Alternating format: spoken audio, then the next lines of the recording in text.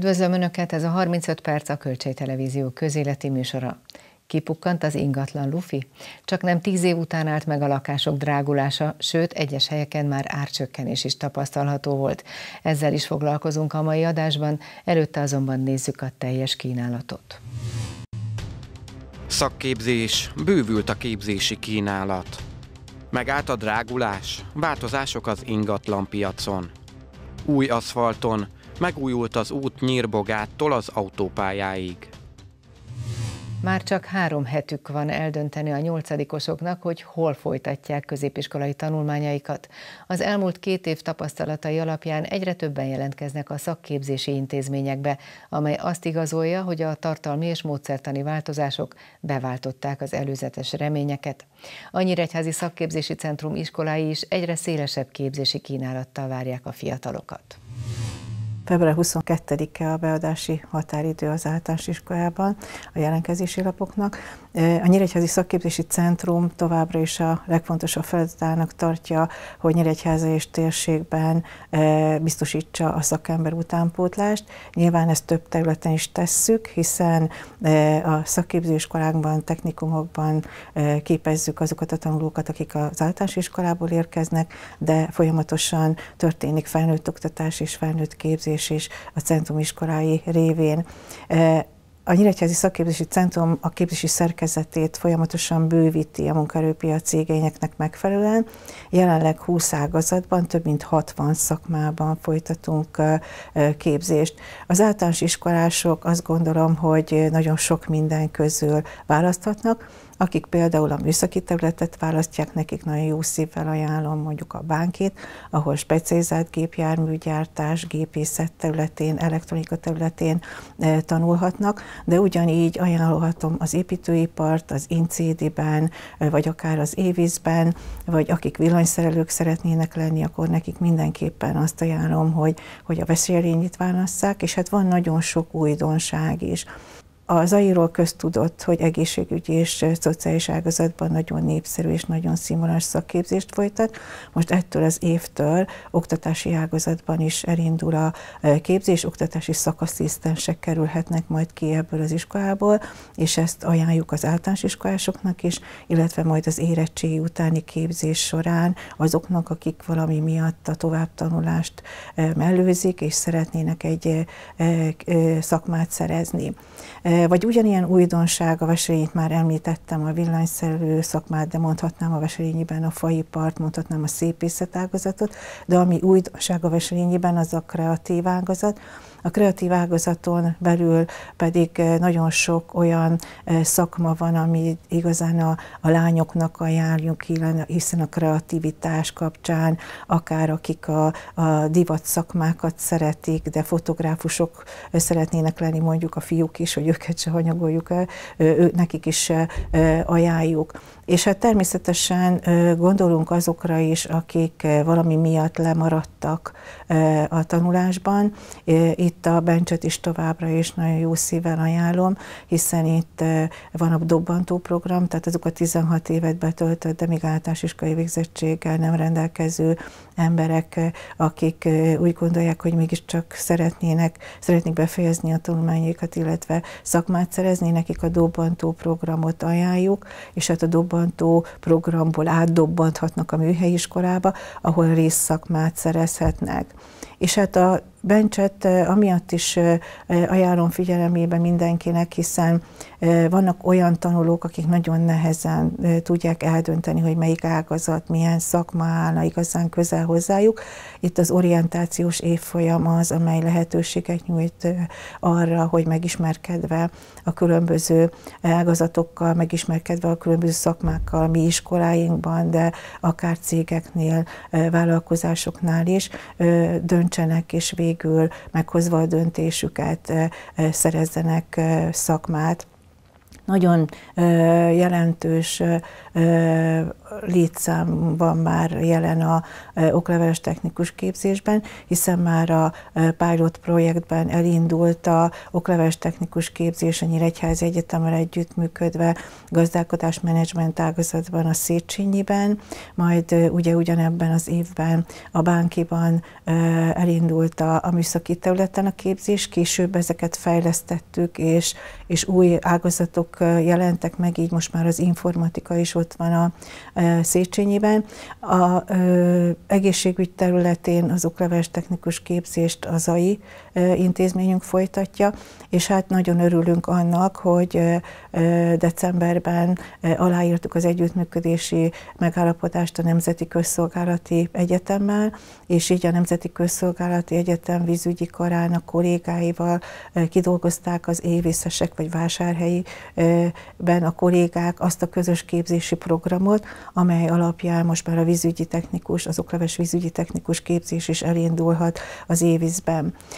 Négy iskolánkban folyik ez az okleveles technikus képzés, aminek az a lényege, hogy az egyetemek oktatói és a technikumok oktatói közösen dolgozzák ki azt a képzési programot, amely alapján történik az okleveles technikus képzés, és hát a, az ide jelenkezők számára pedig nagyon fontos tudni azt, hogy, hogy kreditbeszámításról van szó, tehát az egyetem meghatározza, és minden egyetem külön-külön meghatározza, hogy hány kredit, tehát 30-tól lehet, hogy lesz olyan egyetem, ahol 50 kreditet is beszámolnak.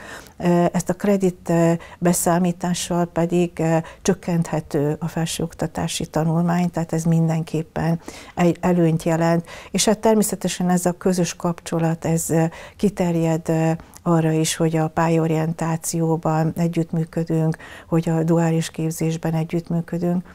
És hát ha, ha már említettem a duális képzést, akkor nagyon fontos megemlíteni azt, hogy az új szakképzési törvény nagyon kiemeli a duális képzés jelentőségét. Tehát gyakorlatilag a szakmai oktatás két részből áll, egy ágazati alapoktatásból, amit, amiért az iskola felelős, és az ágazati alapoktatást követően pedig a tanulóink kimehetnek gazdálkodó szervezetekhez, duális partnerekhez, és a teljes szakirányú oktatás ott történhet választhatja azt a duális partner, hogy a teljes képzési időre ott van, és ő vállalja a felelősséget a vizsgára történő felkészítésben, de lehet az is, hogy közösen bizonyos időt kint töltenek, bizonyos időt az iskolában, és hát vannak olyanok sajnos, akik még bent vannak az intézményben, és akkor itt szeretném is felhívni a figyelmet, ha lesz, lennének olyan duális partnerek, akik szívesen részt vennének akár az informatika távközlés, akár gazdálkodás menedzsment ágazatban, akkor ezt örömmel vennénk, hiszen azt gondolom, hogy akkor tudunk jó szakembereket képezni, ha mindezt a duális partnereinkkel együtt tesszük, hát hiszen ők azok, akik tudják a, a szakmának a, az aktuális e, dolgait, ahol igazán a szakmamesterei dolgoznak, és meg tudják tanítani e, a kollégákat. Nagyon fontos, fontos, hogy a teljes képzési idő alatt együttműködjenek a duális partner és az iskola, hiszen az ő közös felelőssége, az ő közös munkájának az eredménye az, amikor már kikerül egy jó szakember. És hát érzékeljük, hogy, hogy itt Nyíregyháza és térségében folyamatosan fejlődik, új befektetők érkeznek, nyilván új szakmai igények jelennek meg, igyekszünk ennek megfelelően a képzési kínálatokat bővíteni. Sokszor halljuk, hogy hogy nincs megfelelő létszámban munkaerő, hogy még mindig keresik a vállalkozások a munkaerőt. Mi igyekszünk nagyon rugalmasan, minden jogszabályi lehetőséget kihasználva segíteni azt, hogy minél több jó szakember legyen. Éppen ezért, ha, ha azt mondom, hogy több mint 8000 fő a tanuló létszámunk, és ebből 2000-nél több a felnőtt, aki részt vesz a képzésben, akkor ez jól jelzi a rugalmasságot, hogy a felnőttek oktatásában is nagyon jelentős szerepet vállalunk, és azt gondolom, hogy ki is kell használni azt a lehetőséget, hogy két szakma és egy szakképesítés ma Magyarországon mindenki számára ingyenes, a felnőtt oktatásban még olyan kötöttségek sincsenek, hogy tanévhez igazodóan kell elindítanunk egy képzést. A felnőtt oktatásban bármikor elindíthatjuk a képzést, és újdonság és nagyon népszerű a saját dolgozó képzése, amikor akár egy KKV nagyvállalat, bármilyen vállalkozás a saját dolgozóját támogatja abban, hogy egy új szakmát szerezzen. Működik egy helloszakma.hu pályorientációs portál, amelyet a Nyíregyházi Szakképzési Centrum működtet, de van egy pályorientációs naptár, ahová a város valamennyi pályorientációs szereplője beküldi a rendezvényeket, és ezeket megjelenítjük tehát hogy melyek azok a rendezvények, ahova még most is el tudnak menni, most is információt tudnak szerezni. És hát ezen a portálon láthatnak véleményeket, szakmát szülők szemmel, szakmát vállalkozás szemmel, tanuló szemével, miért tartja ő jónak az ő adott szakmáját, és azt gondolom, hogy erről a pályorientációs portáról, ha nem szerzett információt, akkor még talál linkeket, hogy hogyan tud eljutni az Innovatív Képzés Támogató Központ portájára, hogy tud eljutni az egyes iskoláknak a, a honlapjára, és ott mindenki minden hasznos információt megtalál. Ha mégsem így történne, akkor pedig azt ajánlom, hogy keressék bártan az iskolák igazgatóit, a Nyíregyházi Szakképzési Centrum munkatársait, írjanak nekünk e-mailt, és készséggel állunk rendelkezésükre. A digitális közösségi alkotóműhelyünk továbbra is működik, ott is ki lehet próbálni egy-egy szakmát, illetve tudnak segíteni a kollégák abban, hogy, hogy ki milyen irányultságú, milyen szakmához áll közelebb. Ez a portál is, tehát a DK-nak is van egy weboldala, ahol tudnak információt szerezni, és remélem, hogy ezeknek az információknak a birtokában egyre többen döntenek majd úgy, hogy a Nyíregyházi Szakképzési Centrum valamelyik iskoláját választják. Míg az elmúlt év első háromnegyedévében még jelentős áremelkedést mértek a megyei jogú városok ingatlanpiacán, addig a drágulás üteme az utolsó negyedévre jócskán lelassult. Hogy mi miatt alakult ez így, és hogy az elmúlt hónapok folyamatai miatt hogyan változott a kereslet, arról Bákány Zsoltnét, az Otthoncentrum ingatlan közvetítőjét kérdezem. Jó estét kívánok, köszöntöm. Jó estét kívánok a Vannak már tavalyi évi számaink, ugye, ami azért nem teljesen tükrözi a folyamatokat, hiszen az elmúlt év még igencsak vegyes képet mutatott. Igen, hát ha azt lehet mondani, akkor 2022-ben minden úgy, úgy kezdődött, ahogy a 21 folytatódott, tehát jó magas árakkal, minden a helyén volt. Hány hogy... éves folyamat volt ez? Ó, hát tulajdonképpen olyan 18-tól mondhatjuk azt, hogy elkezdett elég erősen mm. növekedni az ingatlanoknak az ára, és egyébként a Covid alatt emelkedett meg az ár úgy, úgy teljesen szemmel láthatóan, és a mi forgalmunk is akkor növekedett meg a 20-as évben a legerősebben, holott mindenki azt gondolná, hogy a Covid alatt nem adtak el ingatlanokat, de tehát, Elég so, nagy, nagy mozgolódások történtek. Pont a, pont a Covid miatt azért felmerültek olyan szükségletek, amit igen, kis kert, nem volt egy szempont. Kis, igen, egy kis kert, egy kis nyaraló, meg, meg legyen akkor most már erké, a home office miatt kellett mindenkinek egy magánszféra plusz egy szoba. Ugye ez megindította azt a hullámot, hogy mindenképpen tényleg jó lenne, ha mindenkinek lenne helye egy lakásban, vagy akár egy családi házban. Majd jött a 21-es év, ahol ugye jöttek az államnak, voltak olyan támogatásai, megjelentek, mint a 3 plusz 3 milliós év végére. Ez a felújítási támogatás még inkább inspirálta az embereket arra, hogy mozgolódjanak. Megjelent ugye a babaváró, azt is jócskán elkezdték használni, volt falusicsok, illetékmentessé tették a, az ingatlan vásárlását, hogyha valaki csokkot vett igénybe. Szóval ezek mind azok generálták azt, hogy növekedjen az ingatlan piaci forgalom. Persze emellett még az életnek a jellemző változásai, a, a születések, a családbővülések, a halálesetek, ezek mind azt hozták, hogy mozogjon az ingatlan piac. Majd ugye 20 után jött a 21-es év, ahol szépen kitartottak az árak, és tényleg hatalmas árnövekedéseket értünk el, és hogyha még összegezve nézzük a 21-et és a 22-t, mert ugye én lezárt évet hoztam itt magammal statisztikában, akkor a családi házak esetén el lehet mondani, hogy 21-hez képest 22-ben egy 4,7%-os árcsökkenés már megjelent. Tehát ott már mérhető az adat. Ez már leginkább a negyedik negyedévnek az zuhanását tükrözi. E, igen, de tulajdonképpen a panel és a tégla lakásoknál ez még annyira nem jelent meg. Talán novemberben kezdtük azt érezni, hogy most már lehet alkudni, nem 5%-ot, nem 10 Előfordultak olyan irreálisan magas irányárak, amikből 2-3 millióval olcsóbb vételárak születtek meg később, és egyébként a 21-es évhez képest a 22-es évben a panellakások 18%-kal növekedtek árban, a téglalakások 26-tal. Az új építésű ingatlanokról azt lehet elmondani, hogy az utolsó negyedében, a 22-es utolsó negyedében Nyíregyházán 684 ezer forintos átlag négyzetméter ár jött ki, és ez plusz 40 ot jelent a 21-hez képest, akkor ezt úgy érezzük, hogy ez mennyire erős. Nyilván ez az erősödés a, a tüzépeknek az áremelkedésével, illetve az anyagbeszerzések miatt is növekedtek nyilván az árak, tehát nem minden állt rendelkezésre, és nem azonnal, és tényleg nagyobb árak alakultak ki ott is. Szóval szépen elkezdett ez így, így duzzadni, duzzadni, aztán mindig azt mondják, hogy egyszer valahol az alufi elkezd ereszteni.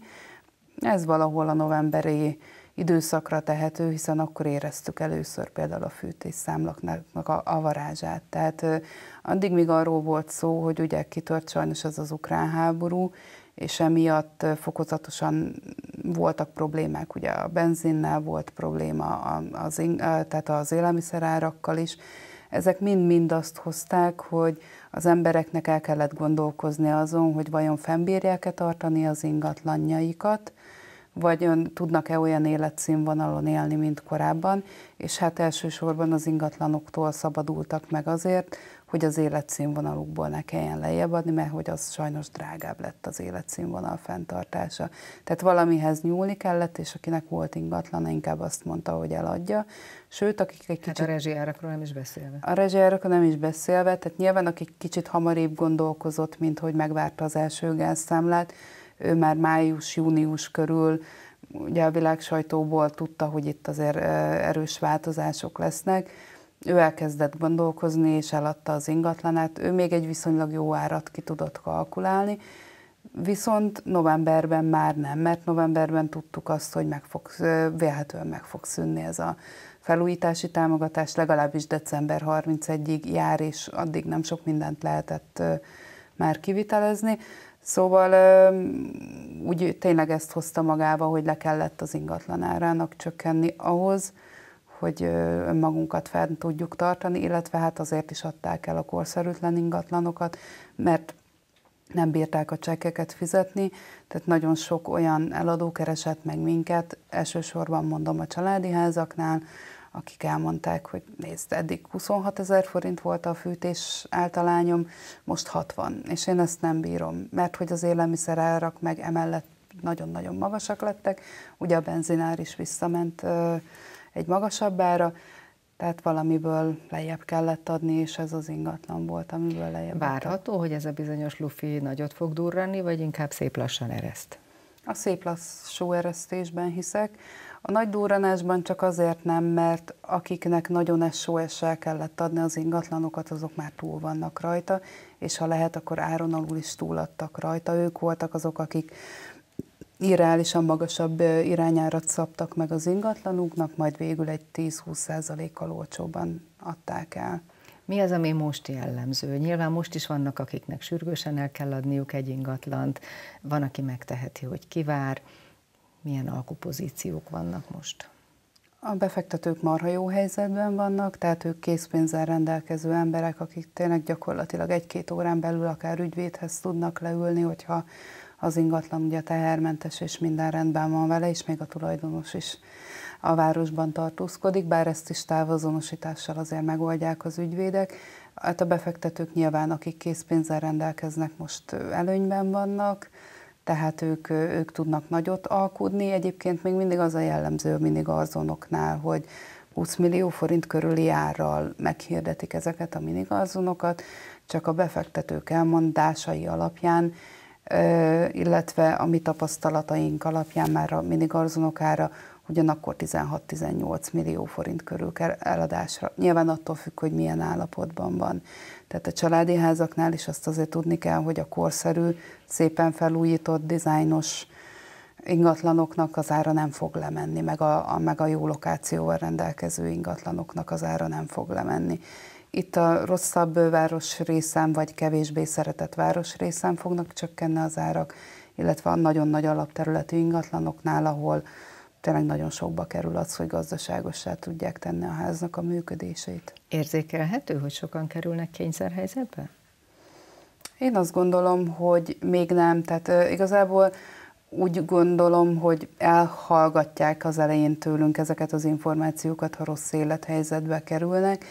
Nyilván ez akkor derül ki mindig, hogy mi egy ingatlannak a vége, amikor viszünk egy vevőjelöltet, és ő elkezd alkudni, és mínusz 20%-ról kezdenek el alkuzni, réken ötöt sem értek, és akkor derül ki, hogy ő milyen helyzetben van, tehát saját magát és a saját maga piacát nem fogja rontani azzal, hogy, hogy, hogy elmondja, hogy szorult helyzetben van, de nyilván nekünk szakembereknek, ingatlan közvetítőknek el lehet mondani bizalmasan, hogy hogy is áll a dolog, és miért is kell eladni, mert nekünk ez üzleti titok, tehát mi ezt kifecsegni nem fogjuk nyilván, viszont azért tisztába kell lennünk azzal, hogy mennyire sürgős egy értékesítés. Mi a leggyakoribb tanács, ami elhangzik az ingatlan közvetítő részéről? Hát most jelenleg nyilván az, hogy még mindenki azt keresi, hogy milyen támogatásokat tud igénybe venni. Nagyon sok embernek ugyanúgy szüksége van hitelfelvételre. Ezt szoktuk velük többször átrágni, hogy milyen hitelt hol és hogyan és milyen ütemezéssel vegyenek fel, hogy minél kevesebb kockázattal vegyenek föl hitelt, hogy később ne legyen baj. Bákány Zsoltnék, köszönjük szépen, hogy mindezekről beszámolt nekünk ma. Három települést, Nyírbogátot, Kislétát és Máriapócsot érintve újultak meg bel- és külterületi utak az M3-as autópályáig. A több lépcsőben megvalósított beruházást ünnepélyes keretek között Lázár János építési és közlekedési miniszter jelenlétében adták át Máriapócson.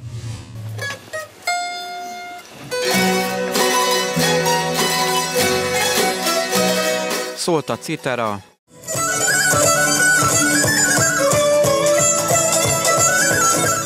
majd helyi általános iskolások néptánca színesítette az ünnepet Mária Pócson, a várost átszelő út mellett.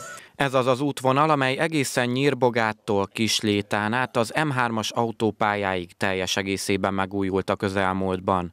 Pap Bertala Mária Pucs polgármestere arról beszélt, nagy örömükre szolgál, hogy az ideiglenes javítások után most teljesen új burkolatot kapott az aszfalt. Ez az út Valamikor 1986-ban épült, mi úgy hívtuk akkor, hogy úgy hívták, hogy az Alma út. Ezen a szakaszon szállították a Szovjetunió határához az almát, és ez ilyen tótozás, fordozás volt az elmúlt több mint három évtizedben.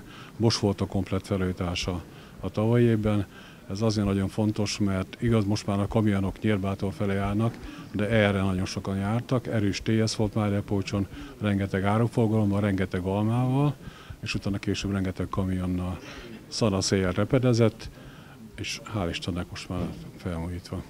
Mária Pócs nemzeti kegyhelyének köszönhetően nem csak a térség, hanem az ország egyik legjelentősebb zarándokhelyének számít. Simó Miklós a térség országgyűlési képviselője kiemelte, a város az utóbbi években számos területen fejlődött, megújultak középületei, bővültek az egyházi szolgáltatások, a 49-27-es út felújítása pedig tovább élénkítheti a vallási turizmust. A várossá válásának 30. évfordulóját idén ünneplő Mária Pócs elmúlt másfél, küzdelmekkel ugyanakkor eredményekkel teli évtizede a látványos fejlesztésekről, fejlődésről szól. A görög katolikus egyház és az önkormányzat a kormány támogatásával felépítette és megújította a középületeket itt a főtéren, zarándokházak épültek, megújult a főtér, a bazilita nővérek szociális otthona, az iskola, a római katolikus templom, és a kormányablaknak és a művelődési háznak helyet adó városháza is. Épül a görög-katolikus bölcsőde, és nemrég az óvoda fejlesztésekre kapott zöld utat egy uniós top plusz pályázat jóvoltából. Külterületi kerékpárút épült Mária Pócs Kislét a Nyírbogát között, így megvalósult a kerékpárutas összeköttetés Debrecen és Mária Pócs között. Simon Miklós hozzátette, a 49-27-es út felújítása tovább élénkítheti a vallási turizmust. A várost az M3-as autópályával és ellenkező irányba a 471-es főútvonallal köti össze, jelentősen javítja a nemzeti kegyhelyünk Mária Pócs megközelíthetőségének a biztonságát.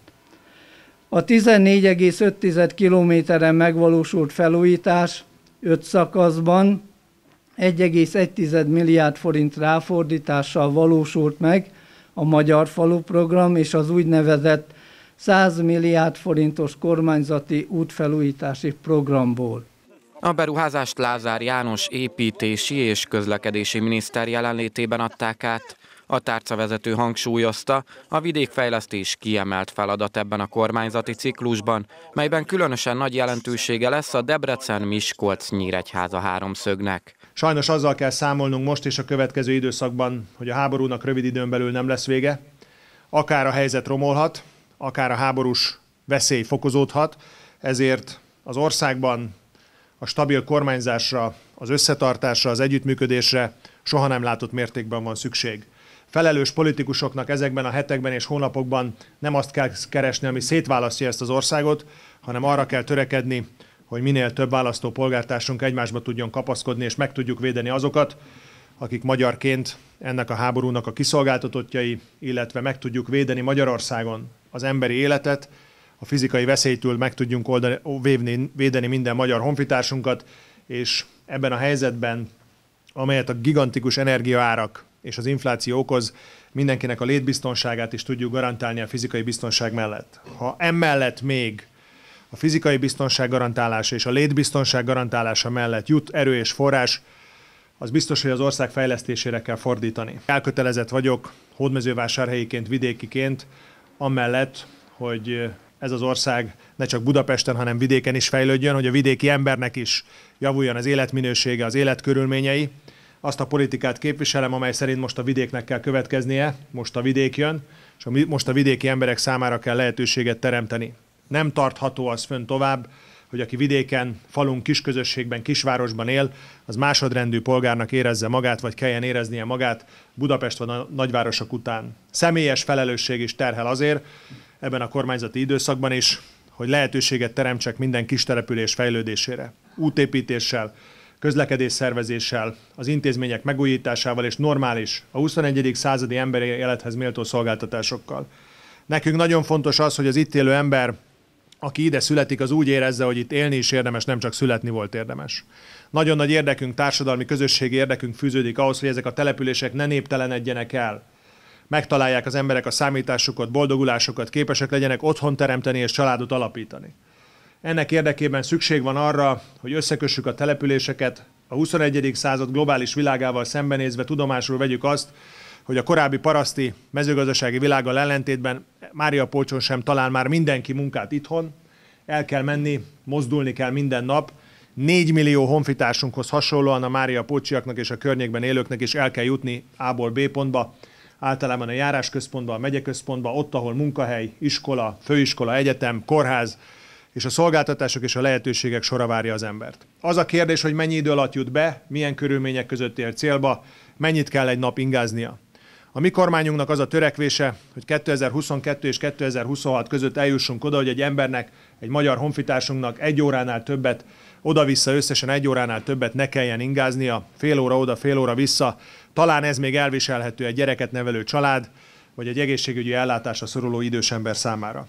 Az is fontos célkitűzésünk, hogy a vidéki úthálózatot javítsuk, mint ahogy Simon Miklós képviselő úr vezetésével és közreműködésével az itt élő polgármesterek, a helyi közösségek közreműködésével ezt megtették, hiszen Szabolcs megyében elköltöttünk körülbelül 200 milliárd forintot, és több mint 500 kilométernyi utat sikerült így vagy úgy felújítanunk, amelyben döntő szerepe volt az elmúlt 12 év egyik legnagyobb beruházásának, az M3-as továbbvitelének befejezésének, és a következő években a megye kiemelt fejlesztési célpontja lesz az országnak, hiszen nem csak a vidéki ember életminőségét kell javítanunk, hanem az ország gyarapodását is elő kell segítenünk, hogy tíz év múlva ne csak számunkra, hanem a világ minden polgára számára Magyarország legyen a világ egyik legjobb helye és Európa egyik legjobb helye. Ennek érdekében gazdasági növekedésre több pénzre van szüksége az országnak. Ezekben a régiókban, Mária Pocs, Szabolcs-Szatmár megye térségében még van munkaerő, még az emberek akarnak dolgozni, van tetvágy, vállalkozási kedv, itt még lehet gazdasági növekedést elérni. Ez a háromszög, Miskolc, Nyíregyháza és Debrecen háromszög, az ország egy óriási lehetősége. Azonban utat kell építenünk, vasutat kell építenünk, energiahálózatot kell korszerűsítenünk, és az itt megtelepedő gyárak, üzemek számára Debrecenben, Nyíregyházán, Nyírbátorban vagy Miskolc környékén biztosítanunk kell a megfelelő energia és munkaerő ellátást. Ehhez is szükség van a mobilitásra, a mozgásra, és arra, hogy ebben a megyében két nagy vasúti vonalat, a Debrecen-Nyíregyháza vonalat és egy másik vasúti vonalat is korszerűsítsünk, valamint arra, hogy az M3-as autópályát tovább vigyük Vásárosnaménynál, tovább vigyük Záhony felé, az M49-es pedig megépítsük az ország határig egész végig. Ezt vállaljuk erre a ciklusra ebben a megyében, és természetesen azt is, hogy akinek központokba kell elmennie, megkönnyítjük, megkönnyítjük az eljutásukat. A várossá válásának 30. évfordulóját ünneplő Mária Pocs közelségében újabb közlekedési fejlesztés valósulhat meg. Az önkormányzat több mint 577 millió forintot nyert el arra, hogy Károsemjén irányában is új kerékpárút épüljön. Kedves nézőink, eddig tartott ma a 35 perc friss műsorral, legközelebb jövő hét hétfőn jelentkezünk. Várjuk Önöket akkor is, viszontlátásra!